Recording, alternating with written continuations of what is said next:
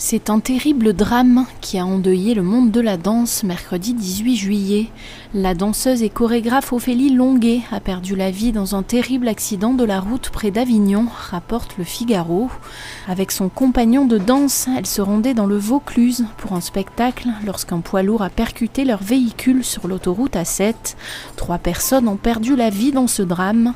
Originaire de Lisieux, Ophélie Longuet, 40 ans, enseignait la danse à Nice où elle avait monté sa compagnie Accord Dansé. Depuis l'annonce de son décès, les hommages se multiplient sur les réseaux sociaux. Christian Estrosi a tenu à lui rendre hommage sur son compte Twitter.